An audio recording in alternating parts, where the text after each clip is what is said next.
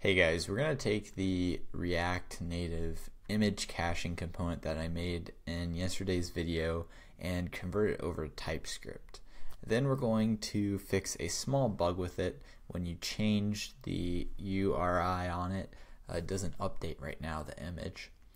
Now, the reason why I'm converting this over to TypeScript is I just want to practice it and get a feel what it feels like in React because there's really no reason to have TypeScript for this. It's a really small uh, component. But uh, yeah, I just want to get some practice with it and make sure, uh, and also just make sure you don't have any type errors.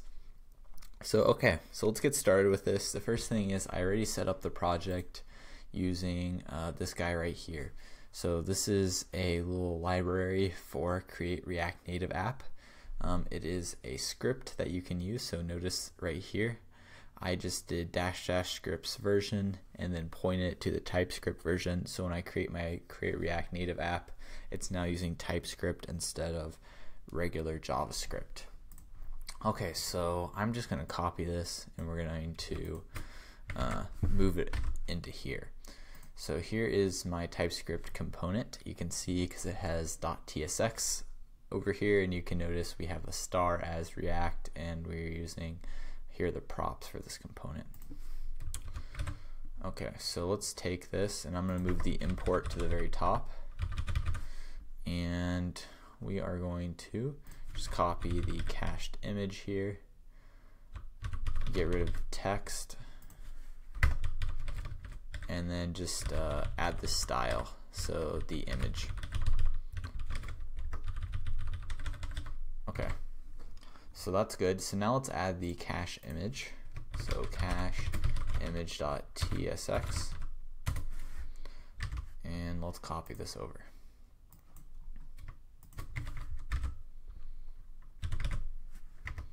Okay, so there's a few things we need to do to convert this over. First off, um, I need to install short hash.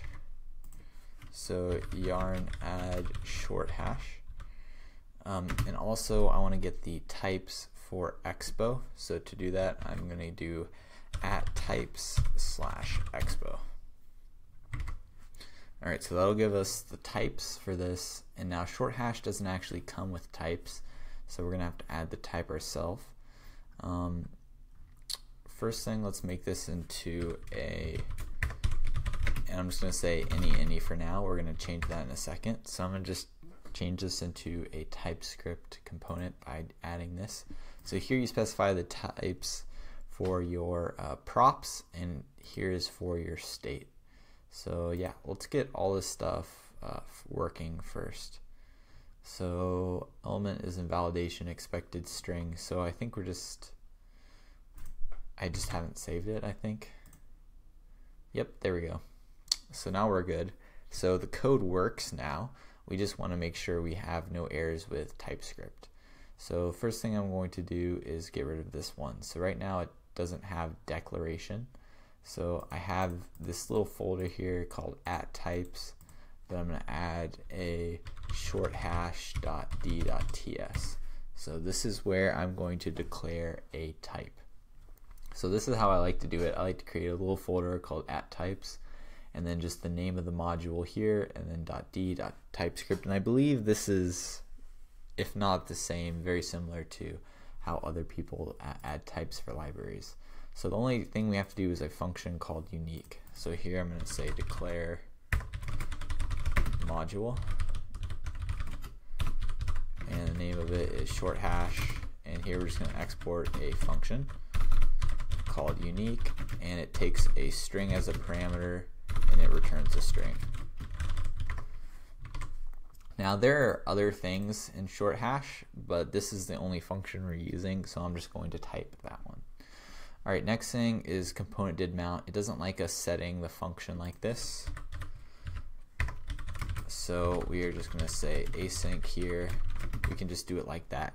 Now, uh, something interesting I didn't know about TypeScript until now is that it, it, looks like it auto binds it. So normally if I think I do this in JavaScript, this will be undefined in here, but uh, don't have to bind it. And that's why I was setting it equal to a lambda function before. Okay, so now our code is pretty good. It doesn't like what we have down here. So let's add some typing for our state and props. So for our interface, I'm going to create a props interface. And now first thing is going to be um, a URI. So that's what we're expecting, a string from the user. So let's pass that in as our props. And uh, interface is kind of like a way to add an object.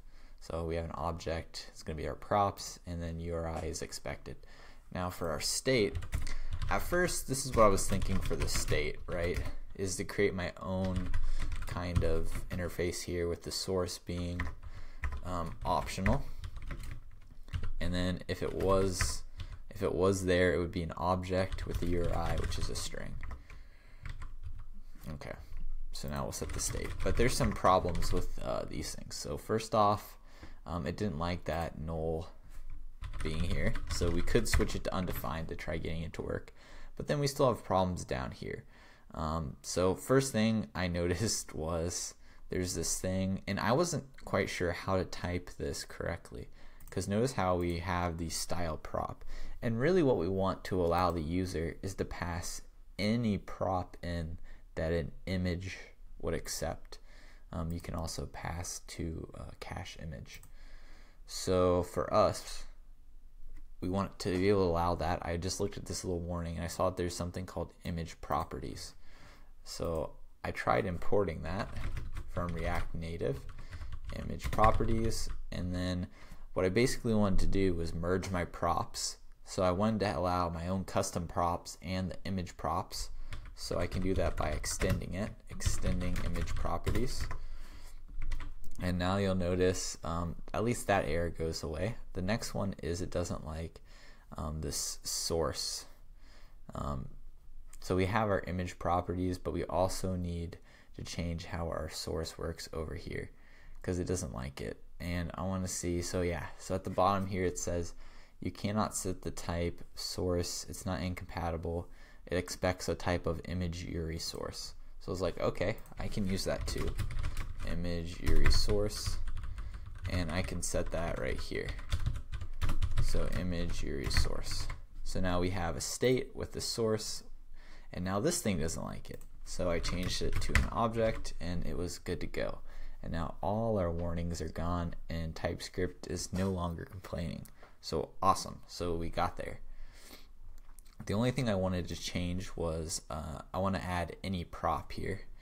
So const and I want to remove the URI from it. So other props, we're going to say dot dot dot is equal to this dot props. And so instead of specifying the style here, I now want to accept any prop. Oops. So we're going to do, and we can just do it at the end. Dot dot dot other props. Okay, so now I'm passing any prop that I get from our over here. So any prop that I specify here, it'll just go directly here. Now it doesn't like it over here, so let's see what I did. It's not signed by type read only. Um, no idea what's going on with that. I don't know if it didn't like it because I changed it here. Um, we'll worry about this guy in a second. This is really from the user point of view. Okay, so I want to show you guys the little warning that, uh, or not warning, but bug that we currently have. So right now the image is not never going to change, but it's possible that the user has um, a state right where they have the just like a string for the URL or the URI, if you will. Um, so let's do that.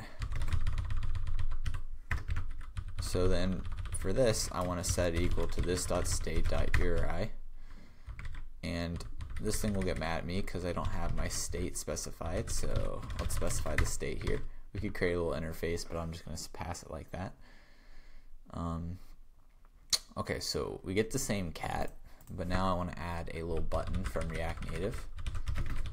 So button and when I click this button so button title is going to be change picture. And it's going to be an on press. And when we press we're going to say this dot set state and we're going to change the URI. So I just went over to Google Images and just randomly grabbed a new one and copied the image address. And we can just paste it in there. And that one doesn't look like it's going to work because it's not actually a URL. So copy image address. Are all of these data? I want just the image um, address. So let's click on him and let's copy the address. I want just like a JPEG, not the actual data. So let's click on him, click on him.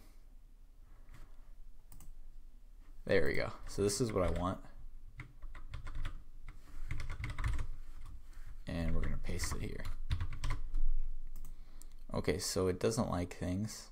Lambdas are forbidden in JSX attributes due to their rendering. Well, that's actually like a good TSLint warning to have.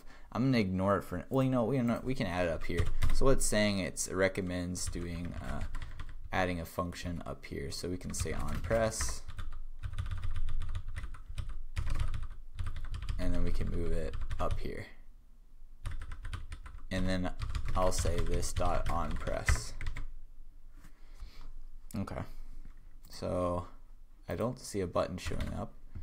I don't know if, okay, here we go. So change picture. So this is not defined, this dot set state. Okay, so this, I'm just gonna make it async because it doesn't look like it bound it. But it was bound over there, so I'm guessing if I make it asynchronous, it works. Undefined is not a function. For, nope, still doesn't like it. So we'll, we'll just do this the old-fashioned way. So constructor, those of you that are better at TypeScript than me, I'm curious why I don't have to bind it. This guy here, I have to bind. Oh, maybe component did mount is auto binded. That's probably it. Never mind. I think I was just being a noob. So this dot state. Let's put it here. And then we're going to say this dot on press is equal to this dot on press dot bind this. And we just need to specify a type for this and we don't expect any props so. Alright so now when I click on the change picture the URI changes but the picture the cat doesn't. And the reason for that is component did mount. This is only called when the component first mounts really what we want to do is component uh, will receive props is use this one. And what this will allow us to do is I believe it has, I think it's current props, it's next props and current props. I forget the order. We're going to have to double check this. Let's see, it will tell us? Yep, next props and then props. And so this is going to be the types are going to be props and props. And so we want to do all this stuff in this function. But we want to conditionally do it. We only want to download a new URI when the URI changes. So how do we know if it differs? Well, and I'm surprised it doesn't show up over here, but that's okay. We're going to say next props dot URI is not equal to props dot URI. So if they're not equal, we know we're going to say at the top if they are equal, we're just going to return out of this. Otherwise, we're going to get it from the next props. So we're looking at the next props, and if the URI changes, then we're going to go ahead and run this stuff. And we're not getting anything, so I'm going to console.log next props and props. So maybe it just doesn't get called on the first mount. Yeah, it looks like it doesn't get called. But if I call, what if I click on change picture? Okay, so it does go ahead and appear. Nice. So it looks like we still need the code here to do it when it first mounts. We get our cat, and now here we're pretty much listening for updates. So now click on this, we now get our Fox. So cool. Or I guess this is not a fox, this is a wolf. Alright, so I'm copy and pasting code. Let's abstract this into a function. So let's move this up here. So we'll say uh, download image. And with download image, I want to just copy all this stuff. Now, instead of from the props, we're going to make this asynchronous.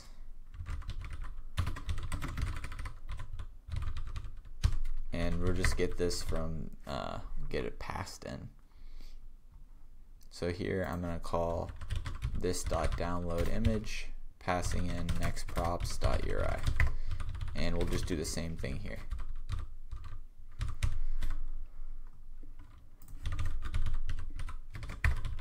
But now we're gonna say this dot props the URI.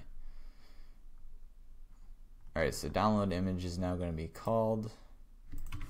This is going to be a string. So again, this is this guy right here. I would assume I have to bind. But it looks like it's working for some reason. I'm not sure when to bind these functions and when not to bind them in uh, TypeScript. It looks like I have access to this when I shouldn't. Um, but maybe it's because I'm calling it from this. I'm not quite sure. But alright, this is what I wanted to change. So now we have that um, working nicely. We still have this little type error over here, which I'm not sure what's going on with that. Is not signable to type intrinsic cache image read only yeah.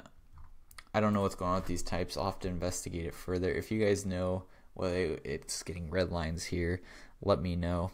What we'll do in the next video is fix this type error here and also um, set this up so I can uh, deploy it to npm because I want to set this up as an npm package. So look into how I can set up an npm package and also how to like bundle it with TypeScript and all that fun stuff. But uh, this is actually one of the reasons why I tried FlowType, which is kind of an alternative to, to TypeScript, and was like, man, I don't even want to do it anymore because you end up coding, uh, trying to get the types to line up more than you actually end up coding. I, I found maybe that's just because I haven't spent enough time with TypeScript, um, but uh, it can get kind of complex adding all the different things that you have to get and getting them to line up. Well, that's it for this video, guys. Thanks for watching.